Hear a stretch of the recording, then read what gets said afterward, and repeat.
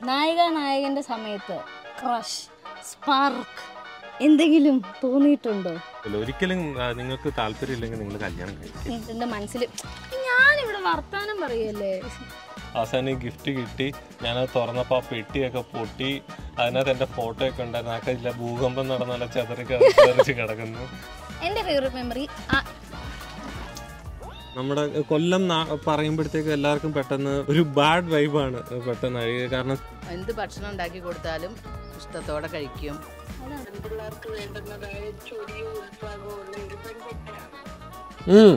Why didn't you attend any interview after marriage? What are some of the key things you both consider important in married life?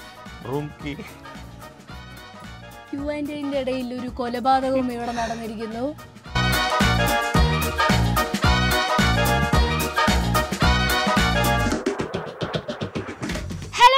Welcome back to my channel എല്ലാവർക്കും സുഖമല്ലേ? ഞാൻ കുറേ കാലമായില്ല ഈ dialogue പറഞ്ഞിട്ട് ഒരു മാസത്തിൽ കൂടുതലായി വ്ളോഗൊക്കെ upload ചെയ്തിട്ട്. ആദ്യം തന്നെ അതിന് വലിയൊരു ക്ഷമ ചോദിക്കുന്നു.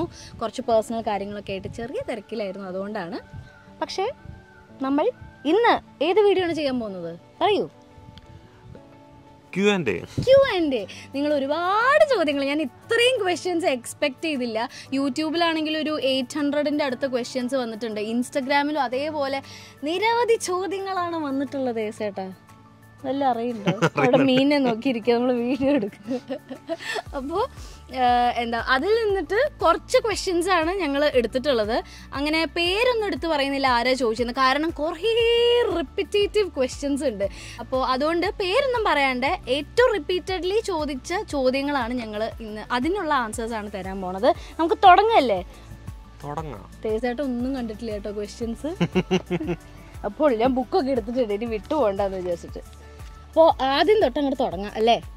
ബസ് ഓട്ടോ അത് വേറെ. സോറി അത് വേറെ. പൂജയുടെ ബുക്ക് എടുത്തതാ ഞാൻ. ഇംഗ്ലീഷാണ്? ഏ? അങ്ങനെ മംഗ്ലീഷാ. ചിലത് ഇംഗ്ലീഷും. അപ്പൊ ആദ്യത്തെ ചോദ്യം ഞാൻ ചോദിക്കാൻ പോവാണ്. ചേഞ്ചസ് ആഫ്റ്റർ മാരേജ് അല്ലെങ്കിൽ എക്സ്പെക്ടേഷൻ വേഴ്സസ് റിയാലിറ്റി ഇത് കുറേ പേര് ചോദിച്ച ചോദ്യമാണ് നമുക്ക് കല്യാണം കഴിഞ്ഞിട്ടുണ്ടായ മാറ്റങ്ങൾ അല്ലെങ്കിൽ നമ്മൾ എക്സ്പെക്ട് ചെയ്തതും ഇപ്പോൾ നടന്നുകൊണ്ടിരിക്കുന്ന റിയാലിറ്റിയും ആദ്യം ബേസായിട്ട് ആൻസർ ചെയ്തു. കമോൺ വ്യത്യാസം പ്രത്യേകിച്ചൊന്നുമില്ല. കുറച്ച് അടുക്കും ചിട്ടയായിട്ട് ജീവിക്കേണ്ടി വരുന്നു രാവിലെ എണീക്കേണ്ടി വരുന്നു. അത്രയൊക്കെ ഉള്ളൂ. പ്രത്യേകിച്ച് വേറെ മാറ്റങ്ങളൊന്നുമില്ല. യാത്ര. ആ യാത്രകളൊക്കെ ചെയ്യാൻ പറ്റുന്നുണ്ട്. എക്സ്പെക്ടേഷൻ വേഴ്സസ് റിയാലിറ്റി തേസാന്റെ എക്സ്പെക്ടേഷൻസ് എങ്ങനെയായിരുന്നു? ആ, ഇപ്പൊ റിയാലിറ്റി എന്താണ്? മോശമാണോ? നല്ലതാണോ? എനിക്ക് എക്സ്പെക്ടേഷൻ ഒന്നും ഇല്ലായിരുന്നു. അതുകൊണ്ട് എന്റെ ചേഞ്ചസ് എനിക്കും അങ്ങനെ പ്രത്യേകിച്ച് ചേഞ്ചസ് ഒന്നുമില്ല. ഇങ്ങനെ യാത്ര ചെയ്യാം. കുറച്ചുകൂടി വേണമെങ്കിൽ റെസ്പോൺസിബിലിറ്റി കൂടി എന്ന് വേണമെങ്കിൽ പറയാം. ചെറുതായിട്ട്. ഇത് ഏകദേശം മനസ്സിലായില്ല എന്തെങ്കിലുമൊക്കെ പറയണ്ടേ? എനിക്ക് പ്രത്യേകിച്ച് മാറ്റമൊന്നും തോന്നിയിട്ടില്ല കല്യാണത്തിന് ശേഷം. അതുകൊണ്ട് എനിക്ക് ഒരു പ്രത്യേകിച്ച് മാറ്റം. പിന്നെ എക്സ്പെക്ടേഷൻ വേഴ്സസ് റിയാലിറ്റി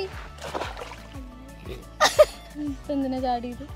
എനിക്ക് ഇരിക്കാൻ ഭയങ്കര ബുദ്ധിമുട്ട്. ഞങ്ങൾ വിചാരിച്ചു ഔട്ട്ഡോർ എപ്പോഴും അകത്തിരുന്നിട്ടല്ലേ ചെയ്യുക അതുകൊണ്ട് ഒരു വെറൈറ്റിക്ക് ഔട്ട്ഡോർ പിടിച്ചതാ. ഉം. ഓക്കെ അപ്പോൾ എക്സ്പെക്ടേഷൻ വേഴ്സസ് റിയാലിറ്റി തേസയുടെ പറഞ്ഞ പോലെ ഓവർ എക്സ്പെക്ടേഷൻസ് നമ്മൾ ആദ്യം തന്നെ തീരുമാനിച്ചിട്ടുണ്ട് മനസ്സിൽ ഞാനിവിടെ വർത്താനം പറയല്ലേ? മനസ്സിലായില്ലേ? ഇതാണ് റിയാലിറ്റി കയ്യിൽ പറഞ്ഞു. ആ എനിക്ക് ഇതുപോലെ ഞങ്ങൾ ആദ്യം തന്നെ തീരുമാനിച്ചിട്ടുണ്ട് കൂടുതൽ എക്സ്പെക്ടേഷൻസ് ഒന്നും വെക്കാതിരിക്കുകയാണ് എപ്പോഴും നല്ലത്. നമ്മൾ എക്സ്പെക്ടേഷൻസ് വെക്കുമ്പോഴാണ് ചിലപ്പോൾ നമുക്കത് മീറ്റ് ചെയ്യാൻ പറ്റിയില്ല എന്നുള്ളൊരു വിഷമമൊക്കെ വരിക. ഒരു എക്സ്പെക്ടേഷനും ഇല്ലെങ്കിൽ ഒരു എക്സ്പെക്ടേഷൻ ഇല്ലെങ്കിൽ എന്താണ്? നല്ലതാണ് നല്ലതാണ്. അതെല്ലാവരും ഒന്ന് മനസ്സിൽ വെക്കുക. അതുകൊണ്ട് നമ്മൾ ഹാപ്പിയാണ് പ്രത്യേകിച്ച് പ്രശ്നമൊന്നുമില്ല. അതാണ് ആദ്യത്തെ ക്വസ്റ്റ്യൻ രണ്ടാമത്തെ ക്വസ്റ്റ്യൻ ഏജ് ഗ്യാപ്പ് എത്രയാണ്? ആറ് വർഷം നാല് മാസം. ആറ് വർഷം നാല് മാസം. അതായത് തേസയുടെ നയന്റീൻ നയന്റി ത്രീ ഫെബാണ് ഞാൻ ജൂൺ നയന്റീൻ നയന്റി നയൻ ആണ്. ഓക്കെ അതാണ് അടുത്ത ചോദ്യം. Next question since you married a naval officer are you prepared for a long distance ഞാനല്ല ആൻസർ ചെയ്യേണ്ടത്. ഞങ്ങൾ ഓൾറെഡി ഈ പ്രപ്പോസൽ വന്നപ്പോൾ തന്നെ ലോങ് ഡിസ്റ്റൻസ് ആയതുകൊണ്ട് പ്രത്യേകിച്ച് പ്രിപ്പറേഷന്റെ ആവശ്യമില്ല. കാരണം എന്താണ് ആ ലോങ് ഡിസ്റ്റൻസ് എന്ന് ഓൾറെഡി അനുഭവിച്ചിട്ടുള്ളതാണ്. പക്ഷെ ഇപ്രാവശ്യം കുറച്ചുകൂടി ഒരു വിഷമം ഉണ്ടാവും. കാരണം ഇപ്പം മൂന്ന് ദിവസമായിട്ട് ഞങ്ങൾ ഒപ്പമാണ് മറ്റേത് ഓൾറെഡി വേറെ വേറെ സ്ഥലത്താണല്ലോ. പക്ഷെ ഇപ്പം ഇങ്ങനെ ഒപ്പം നിന്നിട്ട് പെട്ടെന്ന് പോകുമ്പോൾ നമുക്ക് ആദ്യം ഒന്ന് അഡ്ജസ്റ്റ് ചെയ്യാൻ എനിക്ക് ബുദ്ധിമുട്ടാവും. തേസാട്ടിന് എങ്ങനെ എനിക്ക് ആദ്യമൊന്നും ബുദ്ധിമുട്ടുണ്ടാവില്ല. കാരണം അവിടെ ചെന്ന് കഴിഞ്ഞ് ജോലിയുടേതായിട്ടുള്ള നല്ല ടെൻഷൻ ഉണ്ട്. ജോയിനിങ് സമയത്ത് നല്ല പിന്നെ അത് കഴിഞ്ഞിട്ട് അതുമായിട്ടൊക്കെ ഒന്ന് യൂസ്ഡ് ആയി കഴിയുമ്പോഴത്തേക്കും പ്രശ്നം ഉണ്ടാകും ആയിരിക്കും. കാരണം ഞാൻ വീട്ടിൽ നിന്ന് ആദ്യം പോയപ്പോഴും ഇങ്ങനെ ആയിരുന്നു ഭയങ്കര ബുദ്ധിമുട്ടായിരുന്നു. വീട്ടിൽ നിന്ന് മാറിയൊക്കെ എനിക്ക് ഭയങ്കര ഹോം സിക്നെസ് ഉള്ള ഒരു മനുഷ്യനായിരുന്നു. അപ്പം അതുകൊണ്ട് എനിക്ക് ഭയങ്കര പ്രശ്നമായിരുന്നു. ഇപ്പൊ അതുമായിട്ട് യൂസ്ഡ് ആയി ഇപ്പൊ വീണ്ടും കല്യാണം കഴിഞ്ഞ് പോകുമ്പോൾ വീണ്ടും കുറച്ച് പ്രശ്നം ഉണ്ടാവും. പിന്നെ നമ്മൾ ആക്സെപ്റ്റ് നമ്മൾ മനസ്സിനെ പറഞ്ഞ് പറയട്ടെ. ഞാൻ എൻഗേജ്ഡ് ആണ് ഇവിടെ എന്റെ കാര്യങ്ങളിൽ തേച്ചേട്ടൻ അവിടെ എൻഗേജ്ഡ് ആണെങ്കിൽ എനിക്ക് തോന്നുന്നില്ല അതൊരു പ്രശ്നം.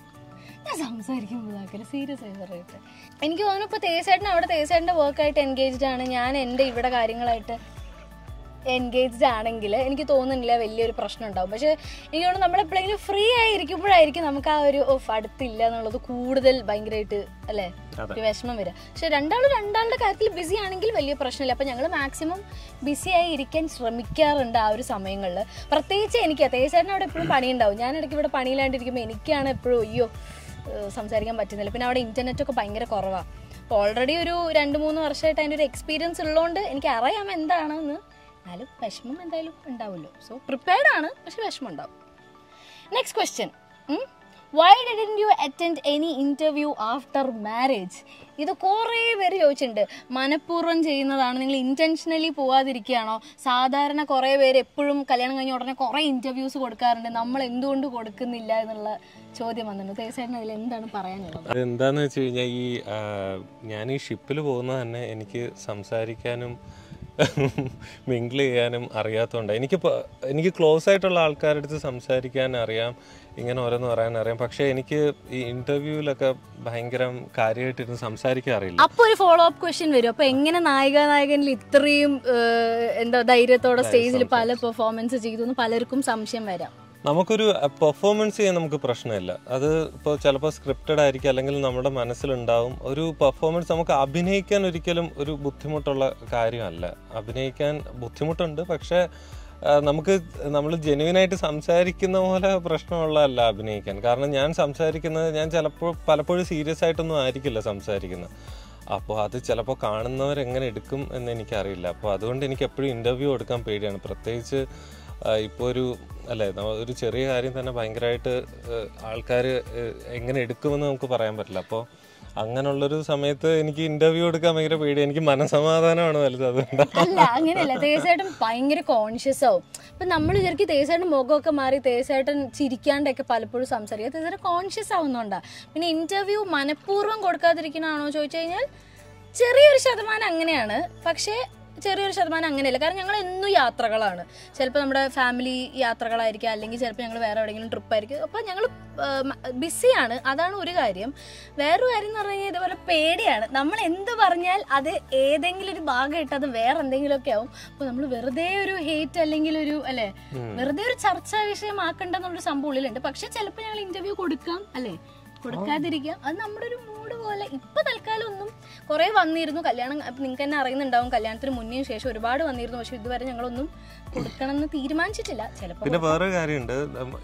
ഇന്റർവ്യൂസിൽ ചിലപ്പോ ഒരു മനഃപൂർവമായിട്ടൊരു നമുക്കൊരു സെൻസേഷൻ സംഭവങ്ങൾ എന്നുള്ള രീതിയിൽ ചോദ്യം ചോദിച്ചേക്കാം. ഞാൻ പേഴ്സണലി ഒരാൾക്ക് എന്താ ഒരു ബുദ്ധിമുട്ടുണ്ടാകുന്ന ചോദ്യങ്ങൾ ഞാൻ ചോദിക്കാറില്ല. അപ്പോൾ അങ്ങനത്തെ ഒരു ചോദ്യം കേൾക്കുമ്പോൾ എനിക്കും പ്രത്യേകിച്ച് ഇപ്പോൾ നമുക്ക് ഒബ്വിയസ് ആണ്. ഇപ്പോൾ ഒരാളുടെ ഒരാൾ കഷ്ടപ്പെടുന്ന ഒരാളുടെ നമ്മൾ പോയി നിങ്ങൾക്ക് സാലറി ഇത്രയുണ്ട് സാലറി കുറവാണെന്നൊക്കെ പറഞ്ഞ് കുത്തുന്ന പോലത്തെ നമ്മളങ്ങനെ ചോദിക്കായിരിക്കും. എല്ലാവരെയും മാക്സിമം കംഫർട്ടബിൾ ആക്കി വെക്കുക. അപ്പോൾ ഒരാൾ എന്റെ അടുത്ത് അങ്ങനെ ചോദിച്ചാൽ പെട്ട എനിക്ക് പെട്ടെന്ന് എന്റെ മുഖം മാറും. അപ്പോൾ അത് വെറുതെ നമ്മൾ തന്നെ കുഴി കുഴിക്കണ്ടല്ലോ വിചാരിച്ചിട്ടാണ്. നെക്സ്റ്റ് ക്വസ്റ്റ്യൻ ചേട്ടാ. നായിക നായകന്റെ സമയത്ത് ക്രഷ് സ്പാർക്ക് എന്തെങ്കിലും തോന്നിയിട്ടുണ്ടോ?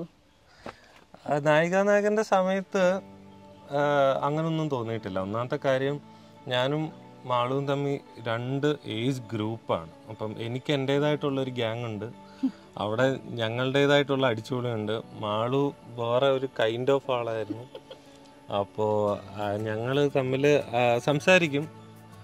എന്തെങ്കിലും കാര്യങ്ങളൊക്കെ ഇങ്ങനെ സീരിയസ് ആയിട്ട് ചോദിക്കും. നല്ലാണ്ട് വേറെ പിന്നെ അതിനൊരു ഫോളോ അപ്പ് ക്വസ്റ്റ്യൻ ഉണ്ട് അതിനൊരു ഫോളോ അപ്പ് ക്വസ്റ്റ്യൻ ഉണ്ട് സമൃദ്ധ ചേച്ചി ലാൽജോ സാറും പറഞ്ഞില്ലേ നമ്മുടെ ആ പെർഫോമൻസ് സമയത്ത് എന്താ പറയാ അവർ ഇങ്ങനെ പറയുന്നില്ലേ നിങ്ങളെ ഇങ്ങനെ കണ്ടേക്കാട്ടിലും നേരിട്ട് നിങ്ങൾ കല്യാണം കഴിച്ചാൽ കൊള്ളാം എന്ന് പറഞ്ഞല്ലോ ആ ഒരു മൊമെന്റിൽ എന്താണ് നമുക്ക് രണ്ടുപേർക്കും ഫീൽ ചെയ്തെന്ന് കുറെ പേര് ചോദിച്ചിട്ടുണ്ട്.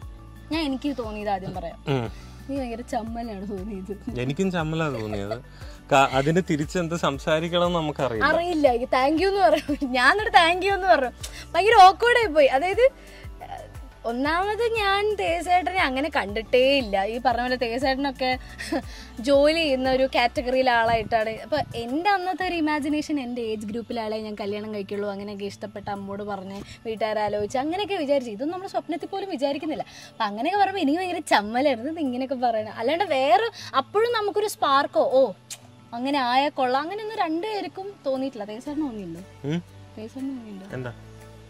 അങ്ങനെ പറഞ്ഞപ്പോ അങ്ങനെ ആയോ നോക്കിയാലോ കുറച്ച് കഴിഞ്ഞു കുറച്ച് കഴിഞ്ഞിട്ട് അത് അത് നമുക്ക് ക്വസ്റ്റ്യൻസ് വരുന്നുണ്ട് അതിലേക്ക് കിടക്കാം. അപ്പോൾ ഇതാണ് അതിന്റെ answer okay next question favourite pic of you and Tejas ഏട്ടൻ നമ്മൾ രണ്ടുപേരുടെ ഏറ്റവും ഇഷ്ടമുള്ള ഫോട്ടോ നമ്മൾ ഒരുമിച്ചുള്ള. എനിക്ക് ആദ്യം പെണ്ണ് കണ്ടതിന് ശേഷമുള്ള ഫോട്ടോ. ഫസ്റ്റ് ഫോട്ടോ കാരണം അതുവരെ അങ്ങനെ കാര്യമായിട്ട് അങ്ങനെ ഫോട്ടോസും കാര്യങ്ങളൊന്നുമില്ല. ഇല്ല ഞങ്ങൾ അടുത്ത് അങ്ങനെ ഒരു ഫോട്ടോ പിന്നെ അത് ഭയങ്കര ചമ്മലായിരുന്നു. വീട്ടുകാരെല്ലാവരും ഉണ്ടല്ലോ. അപ്പൊ ഇങ്ങനെ അടുത്ത് നിന്നല്ലേ ഫോട്ടോ എടുക്കുമ്പോൾ ഒരു ചെറിയൊരു ചമ്മലൊക്കെ ഉണ്ടായിരുന്നു. എന്റെ ഫേവററ്റ് ഫോട്ടോ ഞങ്ങളുടെ കല്യാണത്തിൽ ഞാനിങ്ങനെ ഫ്രണ്ട് ഇങ്ങനെ ചിരിക്കുന്ന ഫോട്ടോ അല്ലേ? ഫസ്റ്റ് ഇട്ടത്. കല്യാണത്തിന്റെ ഞാൻ ഇങ്ങനെ ചിരിക്കാം next question favourite memory before and after marriage കല്യാണത്തിന് മുന്നുള്ള ഫേവററ്റ് മെമ്മറി ഞാൻ പറയട്ടെ അടുത്ത് എന്റെ ഫേവററ്റ് മെമ്മറി എന്റെ ഫേവററ്റ് മെമ്മറി ഫസ്റ്റ് ഞങ്ങൾ അതായത് തേസയുടെ ഷിപ്പിലുള്ളപ്പോഴാണ് ഈ പ്രപ്പോസൽ വന്നതും നമ്മളെല്ലാം. തേസയുടെ പ്ലീസ് ഞാൻ പറയട്ടെ. ഏകദേശം ഏകദേശം നിങ്ങൾക്ക് കാര്യങ്ങളൊക്കെ ഇപ്പം തന്നെ മനസ്സിലാവും. ഓക്കെ മുന്നേ അതായത് തേസയുടെ ഷിപ്പിലുള്ളപ്പോഴാണ് ഈ പ്രപ്പോസൽ വന്നത്. അപ്പോൾ ഞങ്ങൾ നേരിട്ട് കണ്ടിട്ടില്ല. അപ്പോൾ ഫസ്റ്റ് ഈ പ്രപ്പോസലൊക്കെ ഉറപ്പിച്ചതിന് ശേഷം ആദ്യമായിട്ട് കൊച്ചി ഫ്ലാറ്റിൽ വന്നിട്ട് എന്നെ അമ്മ കണ്ട ആ ഒരു സമയം. എനിക്ക് അതാണ് എന്റെ ഫേവററ്റ് മെമ്മറി ഞങ്ങൾക്ക് ഇങ്ങനെ ആദ്യം ഭയങ്കര ഇവരോടാണ് ഞാൻ സംസാരിച്ചത്. അയ്യോ ഇത് തേസായിട്ട് അന്ന് നായികാനായകയിൽ ഉണ്ടായിരുന്നില്ല? ഇപ്പം നേരിട്ട് എന്തൊക്കെയൊക്കെ ഒരു മിക്സ്ഡ് ഓക്വേഡ് നാണം ചമ്മൽ എക്സൈറ്റ്മെന്റ് ഒക്കെ കൂടിയൊരു ഒരു ഒരു പ്രത്യേക മെമ്മറി ആയിരുന്നു അത്. തേസായിട്ട് ഫേവററ്റ് മെമ്മറി ഏതാ? Before marriage. അത് നമ്മൾ ഇതൊക്കെ സംസാരിച്ചു കഴിഞ്ഞിട്ട് ആദ്യമായിട്ട് കണ്ട ഞാനും പറഞ്ഞു? ഫ്ലാറ്റിന് താഴെ വെച്ച് കണ്ടത്. അത് തന്നെയാണ് അപ്പൊ ഞങ്ങളുടെ രണ്ടുപേരുടെ സെയിം ആണ്. ആഫ്റ്റർ മാരേജോ ആഫ്റ്റർ മാരേജ് ആഫ്റ്റർ മാരേജ് കല്യാണം കഴിഞ്ഞിട്ട് തിരിച്ച് വീട്ടിൽ പോകുന്ന സമയം. മറ്റേ കാറിൽ ഞാൻ കിടന്നുറങ്ങിയതാണോ? ഞാൻ തേജാണ് മടി കിടന്ന് ഭയങ്കര ദൂരം ഉണ്ടല്ലോ നമുക്ക് ട്രാവൽ ചെയ്യാൻ. ഞാൻ സുഖമായിട്ട് സാരിയൊക്കെ പിടിച്ച് ചുരുണ്ട് കൂടി ഉറങ്ങി. എന്റെ ആഫ്റ്റർ മാരേജ് എനിക്ക് മെമ്മറബിൾ ആയിട്ടുള്ള ആദ്യത്തെ ഞങ്ങളുടെ ട്രിപ്പ് ഫസ്റ്റ് ട്രിപ്പ് ടുഗദർ അയ്യോ ഒരു മീൻ ചത്ത് എന്റെ കാലിട്ട്. ഓ യോ ഒരു മീൻ ചത്തു.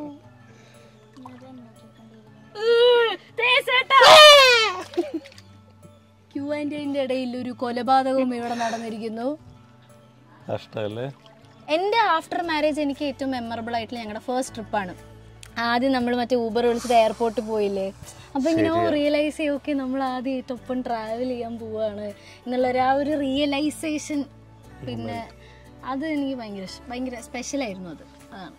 ഓക്കെ നെക്സ്റ്റ് ക്വസ്റ്റ്യൻ ചോദിക്കട്ടെ? First gift receive from Tejas ഏട്ടൻ. And first gift receive from Malu. എന്റെ ഫസ്റ്റ് ഗിഫ്റ്റ് എനിക്ക് കിട്ടിയത് വെർച്വൽ ഗിഫ്റ്റ് ആദ്യം എനിക്ക് കിട്ടിയിട്ടുണ്ട്. തേസയുടെ ഷിപ്പിലായിരുന്നു എന്റെ ഫസ്റ്റ് ബർത്ത്ഡേ സമയത്ത്. ഞാൻ റിലേഷൻ ആയിട്ടുള്ള ഫസ്റ്റ് ബർത്ത്ഡേ സമയത്ത് ഞാൻ തേസയുടെ ഷിപ്പിലായിരുന്നു. അപ്പോൾ അവിടുത്തെ നട്ടും ബോൾട്ടും എന്തൊക്കെയോ വെച്ചിട്ട് എനിക്കൊരു റിങ് ഉണ്ടാക്കി തന്നിരുന്നു. അതിന് ഫോട്ടോ ഒക്കെ അയച്ചു തന്നിരുന്നു. അതാണ് ഫസ്റ്റ് ഗിഫ്റ്റ് എനിക്ക് വെർച്വലി തന്നത്. ശരിക്കും തന്നത് അന്ന് തേസേട്ടൻ എവിടെയോ സെയിലായിരുന്ന സമയത്ത് അമ്മയും മോട്ട് ചേച്ചിയൊക്കെ ആയിട്ട് തേസേട്ടൻ കമ്മ്യൂണിക്കേറ്റ് ചെയ്ത് എനിക്കൊരു ടെഡിയും എനിക്കിഷ്ടമുള്ള എല്ലാ ചോക്ലേറ്റ്സ് ഒക്കെ ഒരു ഒരു കാർട്ടണിൽ കൊണ്ടുവന്ന് എത്തിച്ചിരുന്നു. അതാണ് എന്റെ ഫേവററ്റ് എനിക്ക് കിട്ടിയ ഫസ്റ്റ് ഗിഫ്റ്റ് ഇല്ല നടന്നുകൊണ്ടിരിക്കുക തേസേട്ടന്റെ ബർത്ത്ഡേ ഗിഫ്റ്റോ? ബർത്ത്ഡേ ഗിഫ്റ്റ് അല്ല ഞാൻ തന്ന ഫസ്റ്റ് ഗിഫ്റ്റ് അയ്യോ അത് മറ്റേ പൊട്ടിപ്പൊളിഞ്ഞ ഗിഫ്റ്റ് ആയിരുന്നില്ലേ? അത് സംഭവം എന്താന്ന് വെച്ച് കഴിഞ്ഞാൽ എന്റെ ബർത്ത്ഡേയുടെ സമയത്ത് എന്തോ ഓർഡർ ചെയ്തു. വേറെ ഇൻസ്റ്റാഗ്രാമിൽ അങ്ങ് കണ്ടു ഒരു പേജിൽ നിന്ന് ഓർഡർ ചെയ്തു. അത് എന്നിട്ട് വന്നില്ല. എന്റെ ബർത്ത്ഡേ അപ്പോൾ എന്റെ അടുത്ത് പറഞ്ഞു ഞാനൊരു സർപ്രൈസ് ഓർഡർ ചെയ്തിട്ടുണ്ടായിരുന്നു. സംഭവം വരും. ആ, എനിക്ക് വിഷമം വരുന്നു എന്നൊക്കെ പറഞ്ഞിട്ട് ഭയങ്കര സീനായി അങ്ങനെ ആ കരച്ചിലും ഞാൻ ആശ്വസിപ്പിക്കണം. ഈ ഗിഫ്റ്റ് കിട്ടിയിട്ട് നല്ലതാണെന്നും പറയണം. അവസാനം ഈ ഗിഫ്റ്റ് കിട്ടി. ഞാൻ അത് തുറന്നപ്പോൾ ആ പെട്ടിയൊക്കെ പൊട്ടി. അതിനകത്ത് എന്റെ ഫോട്ടോ ഒക്കെ ഉണ്ടായിരുന്നു. അതൊക്കെ ഇല്ല ഭൂകമ്പം നടന്നുള്ള ചതറി കിടച്ച് കിടക്കുന്നു. എന്നിട്ട് ഞാൻ എന്റെ ഫോട്ടോ ഒക്കെ പറക്കിയെടുത്തു എന്നിട്ട് അത് കണ്ടും ആൾ കരയുന്നെങ്കിൽ എന്റെ ബർത്ത്ഡേ ഗിഫ്റ്റ് ഒക്കെ ഇങ്ങനെ ആയിപ്പോയല്ലോ ഞാനപ്പം ഗിഫ്റ്റ് നല്ലതാണെന്നും പറയണം. അതേ അതേസമയം ഇത് ആശ്വസിപ്പിക്കുകയും ചെയ്യണം. അങ്ങനെ ഒരു വല്ലാത്തൊരു ഗിഫ്റ്റ് ആയിരുന്നു ഞാൻ അതിന് മുന്നേ ഷർട്ട് മേടിച്ചു തന്നിട്ടുണ്ട് അത്? അത് ചുമ്മാ വാങ്ങിച്ചല്ലേ നല്ലൊരു ഗിഫ്റ്റ് അല്ലേ? ഇതൊക്കെയാണ് ഒരു ഗിഫ്റ്റ് ചുമ്മാ അത് നല്ല ഗിഫ്റ്റ് ആയിരുന്നു. ഇപ്പൊ എനിക്ക് ചെറുതായി. അത് കഴിക്കൽ കൂടിയിട്ട്. ഓക്കെ അപ്പൊ അതാണ് എന്റെ ദുരന്തം ഗിഫ്റ്റിന്റെ കഥ. നെക്സ്റ്റ് ക്വസ്റ്റ്യൻ ചോദിക്കട്ടെ. ആഫ്റ്റർ മാരേജ് മാളു കുക്ക് ചെയ്ത് കൊടുത്തത് എന്താണ്? ചായ.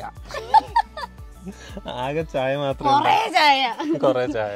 അത് പലതരം ചായ കട്ടൻ ചായ മസാല ചായ പാൽ ചായ അല്ലേ? ചായയുടെ ഒരു വിവിധ തരം മോഡൽസ് ഞാൻ ഉണ്ടാക്കി കൊടുത്തിട്ട് വേറെ പിന്നെ ഓംലെറ്റും ബുൾസൈ ഡബിൾ ബുൾസൈ. ഷെഫ് ഞാൻ ഉണ്ടാക്കി തന്നു. തേസേട്ടൻ എനിക്കൊരു സാധനം ഉണ്ടാക്കി തന്നിട്ടുണ്ട്. എനിക്കന്ന് വയ്യാതിരിക്കായിരുന്നു. അപ്പൊ ഞാൻ എനിക്കൊരു ബ്രെഡ് ടോസ്റ്റ് ഉണ്ടാക്കി തരുമോ ചോദിച്ചു. മൂപ്പര് ആ നെയ്യ് മൊത്തം പാനിൽ ഒഴിച്ചിട്ട് ബ്രെഡ് അതിൽ മുക്കി വെച്ചു. എന്നിട്ടൊരു പ്ലേ പ്ലേ എന്നുള്ള ഒരു സാധനം എനിക്ക് തന്നു. ആ നെയ്യ് മട്ടിച്ച് ഞാൻ ഛർദ്ദിക്കാഞ്ഞത് ഭാഗ്യം. അതുകൊണ്ട് മാറ്റി നിർത്തി ഞാൻ തന്നെ ബ്രെഡ് ചൂടാക്കി കഴിച്ചു. അതാണ് നമ്മുടെ രണ്ടുപേരുടെയും ഫസ്റ്റ് കുക്കിംഗ് അല്ലേ? യെസ് നെക്സ്റ്റ് ക്വസ്റ്റ്യൻ അപ്പൊ കുറെ പേര് എന്നോട് ചോദിച്ച ചോദ്യമാണ് അമ്മ എവിടെ നിൽക്കണത് അമ്മ ഒറ്റയ്ക്കാവുന്നുണ്ടോ? അമ്മേനെ മിസ് ചെയ്യുന്നുണ്ടോ എന്നൊക്കെ. അമ്മേനെ മിസ് ചെയ്യണ്ടോ എന്ന് ചോദിച്ചു കഴിഞ്ഞാൽ തീർച്ചയായിട്ടും. പക്ഷെ ആകെ രണ്ടാഴ്ചത്തേക്ക് മിസ് ചെയ്യാറ്. കാരണം ഞാൻ തേസാറിന്റെ വീട്ടിൽ പോണ സമയത്ത് മാത്രമാണ് അമ്മയും ഞാനും ഒപ്പം ഇല്ലാത്തുള്ളൂ. ഇപ്പോൾ ദുബായിൽ ട്രിപ്പ് പോയപ്പോൾ ഞാൻ അമ്മയെ കൊണ്ടുവരുന്നു. അല്ലാത്ത സമയത്ത് ഞങ്ങൾ പട്ടാമ്പി നിൽക്കുകയാണെങ്കിൽ എറണാകുളം നിൽക്കുകയാണെങ്കിൽ അമ്മ ഉണ്ടാവും. അപ്പോൾ അമ്മേനെ അല്ലാത്ത സമയത്ത് തീർച്ചയായിട്ടും മിസ് ചെയ്യും. കാരണം ഇത്ര കാലം ഞാൻ അമ്മ എന്നുള്ളൊരു ലോകമായിരുന്നല്ലോ ഇപ്പോൾ പക്ഷേ അത് തേജസ് ആയിരുന്നു തേജസിന്റെ ഫാമിലി ആയിട്ട് കൂടി ഞാൻ ഷെയർ ചെയ്യാണ്. പക്ഷെ എനിക്കതിൽ അമ്മയ്ക്കും അറിയാം. അത് നമ്മൾ ഓൾറെഡി എന്താ പറയുക പ്രിപ്പയർഡ് ആയിട്ടുള്ളൊരു കാര്യമാണ് കല്യാണത്തിന് മുന്നേ. അപ്പോൾ കല്യാണം കഴിഞ്ഞ് കഴിഞ്ഞാൽ തേജസ് തേജസായിട്ടിന് ഒരു ഫാമിലി ഉണ്ട്. അപ്പോൾ നമ്മൾ അവരെയും കൺസിഡർ ചെയ്യണം എന്റെ ഫാമിലിയും കൺസിഡർ ചെയ്യണം. അങ്ങനെ ഒരു മ്യൂച്വൽ അണ്ടർസ്റ്റാൻഡിങ് ഞങ്ങൾ പൊക്കോണ്ടിരിക്കുന്നു. ഇപ്പോൾ തേസേടം പോയി കഴിഞ്ഞാൽ ഞാൻ അമ്മയുടെ കൂടെ തന്നെ ആയിരിക്കും. പിന്നെ ഇടയ്ക്ക് തേസേടന്റെ വീട്ടിൽ പോയി നിൽക്കണം ആന്റി പറഞ്ഞിട്ട് അമ്മേനെയും കൂട്ടി വന്ന് അമ്മയും ഞാനും അവിടെ നിൽക്കാന്നൊക്കെ. സോ അങ്ങനെ ഒരു ഇപ്പോൾ തേസാടിന്റെ ഫാമിലി അത്രയും പരിചയമുള്ളതുകൊണ്ട് നമുക്കിടയിൽ അങ്ങനെ ഒരു ഒരു അപരിചിത്വത്വം അപരിചിതത്വം അപരിചിതത്വം. ഇല്ലാത്തതുകൊണ്ടും ഒരു ഗ്യാപ്പ് ഇല്ലാത്തതുകൊണ്ടും നമുക്ക് വളരെ ഫ്രീ ആണ് എപ്പോൾ വേണമെങ്കിലും അമ്മയും കൂട്ടി വേണമെങ്കിലും ഇവിടെ പോയി നിൽക്കാം. അതുകൊണ്ട് പ്രശ്നമില്ല. ആന്റിക്ക് മീൻസ് ചേച്ചേന്റെ അച്ഛനും അമ്മയ്ക്കും ഇങ്ങോട്ട് വന്ന് നിൽക്കാം. അതൊരു പ്രശ്നമേ ഇല്ല. അല്ലേ. ഞങ്ങൾ അങ്ങോട്ടും പോയി നിൽക്കാം ഇങ്ങോട്ടും പോയി നിൽക്കാം. അങ്ങനെ പ്രശ്നമൊന്നുമില്ല. ഓക്കെ നെക്സ്റ്റ് ക്വസ്റ്റ്യൻ ചോദിക്കട്ടെ? What are some of the key things you both consider important in married life room key കുറച്ച് അടുത്ത് പറയല ആ ചളികളൊക്കെ കേൾക്കും എനിക്ക് തോന്നുന്നു സമാധാനം സന്തോഷം അല്ലേ? ഏറ്റവും പ്രധാനം സമാധാനമാണ് സന്തോഷവും. സന്തോഷം സമാധാനമുള്ള അടുത്ത് സന്തോഷം ഉണ്ടാവും. തട്ടിയും കല്ലാകുമ്പോ തട്ടി ഒരു കല്യാണത്തിൽ അതാണ് ഏറ്റവും പ്രധാനം. നമ്മൾ തമ്മിൽ പിന്നെ അണ്ടർസ്റ്റാൻഡിങ് ആ അതൊക്കെ വല്ല പറഞ്ഞ പോലെ കണക്കാ. എന്നാലും സമാധാനം സന്തോഷം ഞാൻ അണ്ടർസ്റ്റാൻഡ് ചെയ്യാറില്ല. ഉണ്ട്. ഞാനും ഉണ്ട്. ആ. രണ്ടുപേരും ഭയങ്കര അണ്ടർസ്റ്റാൻഡിങ് ഒരു രക്ഷയില്ല അതുകൊണ്ട് എന്നും അല്ല കേട്ടോ അണ്ടർസ്റ്റാൻഡിങ് ഉണ്ട്. അതുകൊണ്ടാണ് നമ്മൾ കല്യാണത്തിന് റെഡി ആയത് തന്നെ. പിന്നെ ആ ഒരു ട്രാൻസ്പെറൻസി എനിക്ക് തോന്നുന്നു അണ്ടർസ്റ്റാൻഡിങ്ങും വേണം. ട്രാൻസ്പെറൻസി അതുപോലെ തന്നെ വേണം ഒരു കല്യാണം ലൈഫിൽ അല്ലേ? ഉം. ട്രാൻസ്പെറന്റ് ആയിരിക്കണം. പിന്നെ സന്തോഷം സമാധാനം. കുറച്ച് കുറച്ച് അഡ്ജസ്റ്റ്മെന്റ്സ് ഭീകര അഡ്ജസ്റ്റ്മെന്റ്സ് ഞാൻ പറയില്ല. ഇപ്പൊ നമ്മുടെ ഒരു എന്താ പറയാ അത്രയും നമുക്കുള്ള കാര്യങ്ങൾ എല്ലാം അങ്ങോട്ടും ഇങ്ങോട്ടും അഡ്ജസ്റ്റ് ചെയ്ത് നമുക്ക് ഒന്നൊന്നും നമ്മുടെ ഇഷ്ടങ്ങൾ നമുക്ക് പ്രകടിപ്പിക്കാൻ പറ്റാത്ത അങ്ങനത്തെ ഒരു അഡ്ജസ്റ്റ്മെന്റ് അല്ല. ബട്ട് ചെറിയ ചെറിയ അഡ്ജസ്റ്റ്മെന്റ്സ് ഒക്കെ ലൈഫിൽ വേണം. സപ്പോസ് എക്സാമ്പിൾ എക്സാമ്പിൾ ഇപ്പോ എന്താ പറയാ ഇപ്പൊ ഞാൻ പറയാം. എനിക്ക് സിനിമ കാണാൻ പോകാൻ ഭയങ്കര ഇഷ്ടമാണ് പക്ഷെ മാളിന് സിനിമ കാണാൻ പോകാൻ ഇഷ്ടമല്ല. അപ്പൊ നമ്മൾ എന്ത് ചെയ്യണം? കൂട്ടാണ്ട് ഒറ്റയ്ക്ക് പോയി ശീലിക്കണം. അതും ശരിയാണ്. രണ്ട് രീതിയിൽ അഡ്ജസ്റ്റ് ചെയ്യാം. പക്ഷെ എന്നെ ഒറ്റയ്ക്ക് വിടൂ അല്ല രണ്ട് രീതിയിൽ അഡ്ജസ്റ്റ് ചെയ്യാം. ഇപ്പൊ തേസേട്ടന് സിനിമ കാണാൻ പോകാൻ താല്പര്യമുണ്ട്. പക്ഷെ എനിക്ക് മൂടില്ല. വേണമെങ്കിൽ എനിക്ക് ചിന്തിക്കാം ഓക്കെ സാരമില്ല. തേസേട്ടന് അത് ഇൻട്രസ്റ്റ് ഉണ്ടല്ലോ. ഞാൻ പോവാം. അപ്പൊ തേസേട്ടന് സന്തോഷം. അങ്ങനെയാവും. അല്ലെങ്കിൽ തേസേട്ടൻ തിരിച്ച് ചിന്തിക്കുകയാണ് മാളുവിന് അത് അത്ര താല്പര്യം ഇല്ലല്ലോ എന്നാൽ മാളു ഇവിടെ ഇരിക്കട്ടെ ഞാൻ പോവാം. സോ അങ്ങോട്ടും ഇങ്ങോട്ടും അതൊരു അഡ്ജസ്റ്റ്മെന്റ് ആണ് അല്ലേ? അത് നമുക്ക് ഏത് വേണമെന്ന് രണ്ടെണ്ണം സംസാരിച്ച് ചൂസ് ചെയ്യാവുന്നുള്ളൂ നല്ല മനസ്സിലായോ? ഇല്ല? അതാണ് അത്രയൊക്കെ ഉള്ളൂ. അതാണ് ആ ഇപ്പൊ സന്തോഷം സമാധാനം transparency and adjustment and understanding എന്നാണ് ഇപ്പൊ തോന്നുന്നത് കേട്ടോ. എനിക്ക് പെന്നെ എപ്പോഴെങ്കിലും എന്തെങ്കിലുമൊക്കെ തോന്നുന്നു അയ്യോ ആ മീനെ മൊത്തം ഉറുമ്പ് വന്ന് പോതിന്